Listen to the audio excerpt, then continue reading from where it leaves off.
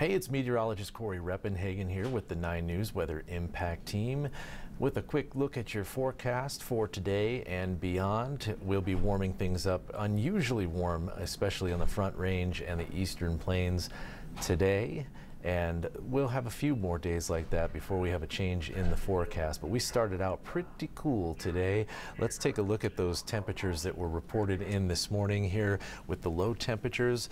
44 degrees in Denver. That's one of the colder temperatures we've had. The coldest temperature we've had so far this year is 39 degrees, and that came on October the 1st. And that 39 degree temperature is the warmest low temperature that we've ever had this late in the season. So we're still looking for that first freeze, which would have normally have come and gone here in Denver, but we're still waiting for that. Did reach freezing out there on the northeast plains today in Yuma County, Phillips, Sedgwick County.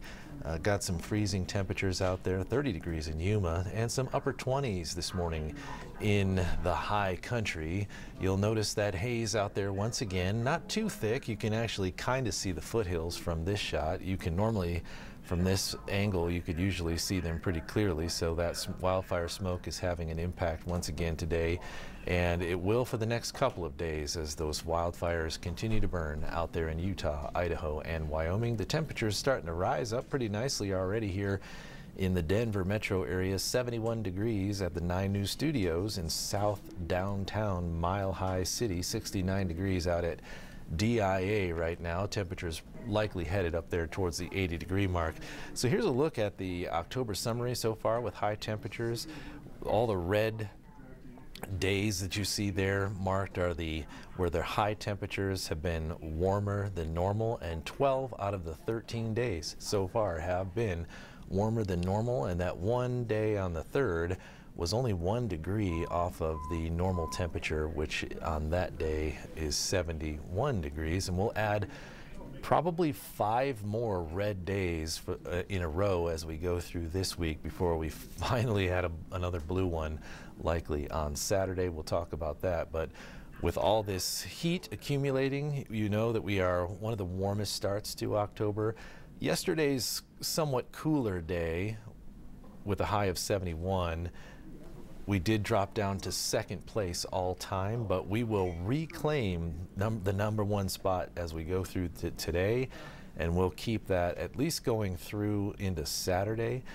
And even if we do drop down to, let's say, low temperatures in the middle 30s and highs in the middle 50s on Saturday, we'll likely still be able to maintain our lead because all the other years throughout history would have been getting their second or third freeze at this point in the season. So we don't really have those warm, those cold temperatures in the forecast.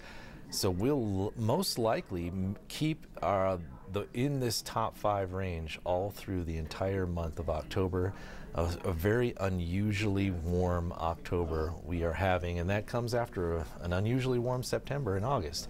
So we do have a little bit of precipitation moving through. The temperature is certainly a big story, but the dry air has also been part of the story. A lot of us have not seen rain in a, in a very long time. Some areas, not since that storm on September the 22nd. Uh, but we do have a little bit of, uh, the, the, mountains have had a little different story. They've, they've had at least some isolated showers here and there, and we'll see some more isolated showers today. Here's the future cast looking at about 5 o'clock this afternoon. We'll have some isolated showers, mainly in the higher elevations, except uh, maybe in the SLV, the San Luis Valley, could get a little bit more of a substantial shower and in an area that is off of the terrain. Otherwise, most of these showers very light and in the higher terrain. Even on the Palmer Divide there, it looks like it'll be just off the I-25 corridor, but we stay pretty dry here on the Front Range and the Northeast Plains. We will have the smoke, though. Everything, everybody gets the smoke, and the wildfires continue to burn in Utah and Idaho and Wyoming, and the airflow generally pushes that smoke right into northeast Colorado where the thicker wildfire smoke is. Can see just about, we, we could see haze just about anywhere in the state again today, but the thicker smoke would be on the northeast plains and parts of the uh, high country here. Are forecast high temperatures for uh, Tuesday, looking ahead here one day in advance, will cool things back down a little bit again on Tuesday. We'll have kind of a persistent northeast or northerly wind coming throughout the day on Tuesday. With, we'll have a little bit of a bite in the air, and that should be able to prevent our temperatures. It may even be difficult to hit the 70 degree mark on the front range here, but I think briefly tomorrow we will break over that 70 degree mark, which is about six or seven degrees warmer than normal, but still a, a, cooler day compared to other things that we've seen. And then we're looking for the cool down, the, the bigger cool down, which comes on the weekend. Here we pick up the jet stream forecast on Wednesday. You see the high pressure ridge that has been over the center of the country here will start to break down on on Wednesday as this next storm system approaches from the Pacific Northwest and the forecasting modeling has really shown this low pressure system dives almost straight down south deep into the Great Basin and become cut off from the jet stream. And so we're looking at a, a scenario here where we have a, a weak cutoff low getting blocked by high pressure out in front of it. And what that means, uh, in part, it does kind of take some of the energy out of the system, but what it mainly means is it's just a slower progression. And so instead of a one or two day impact, we could have a three, four, maybe even a five day impact from this one little trough of low pressure as it slowly moves out. And we will have an opportunity to break some winter milestones here in Denver. We're still looking for that first freeze. If that first freeze does come on Saturday, October the 19th, that would be significantly almost two weeks later than average. And if we somehow skate through this weekend storm without hitting freezing, which is possible, if not likely, we would most likely start approaching the record breaking latest freeze in Denver history, uh, which uh, once you get towards Halloween, it's pretty unusual. Only three times in history have we wait, had to wait till after Halloween to get that first freeze. So this is all part of that unusually warm start to fall and, and October. And the, as far as the average first snow in Denver, that uh, the that average is October 18th, and it is possible with this storm. I mean, we have a storm system coming in, and at the right time of year, so climatologically speaking, there is a chance to have that uh, first snow accumulation, but it does not appear very likely at all. So um, we will likely kind of push that average first snow, that first snow in Denver, a little bit later than normal. And so here's your seven day forecast. And when you see all that information laid out here on kind of like a smartphone, uh, smartphone format, you can see the impacts of that storm starting, really the impacts of that storm start on Wednesday and Thursday because the winds will kick up as we know ahead of those storm systems and the dry air will come in. So we're most likely looking at some fire weather uh, elevated fire weather, if not possibly critical fire weather, on Wednesday and Thursday. And that will most likely be out on the eastern plains, but could involve some areas on the front range. And even if we don't get a warning on the front range, we'll be very close to threshold. So dicey fire weather conditions on Wednesday and Thursday. And then the precipitation comes in on Friday, probably Friday evening or Friday night and there's a good chance that we get at least some scattered showers in the area.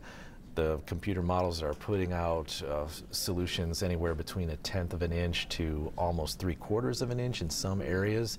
So not probably not rain for everybody on the front range, but at least quite a few of us will have a chance to get our first precipitation in a very long time. Uh, some of us since that September 22nd storm. And then on Saturday, this will most likely carry over, the precipitation carrying over into Saturday.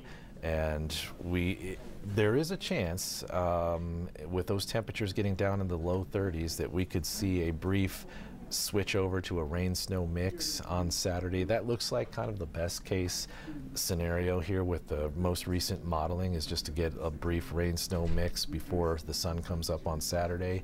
And so snow accumulation in Denver is very unlikely, although certainly possible. And then going, you know, in the, in that Saturday time frame. So uh, most likely just some light, cool rain in certain areas on Saturday morning.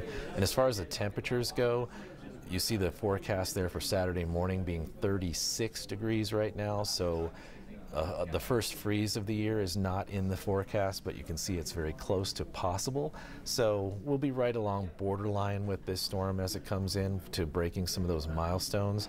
And then because of the way that the storm gets cut off and blocked by that high pressure system out in front of it, it may carry some of these uh, kind of cooler, wetter impacts into Sunday.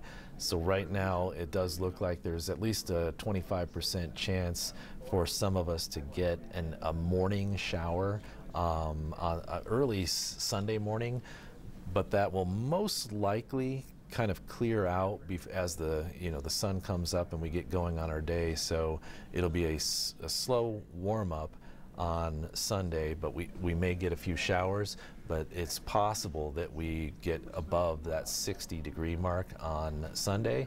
And then Monday looks like we could have one of those classic Octobery days where the sun comes out and it's a and it's just a cool, breezy day. So the real October looks like we'll at least finish the month of October Octobery since we the first 20 days was it looks pretty much nil as far as that goes.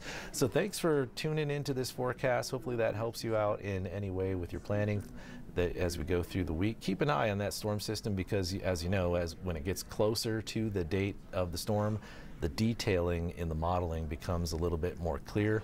And so we'll have uh, more answers as far as timing and how much precipitation and how cold it's going to get once we get closer. So thanks a lot for joining us here and have a great day.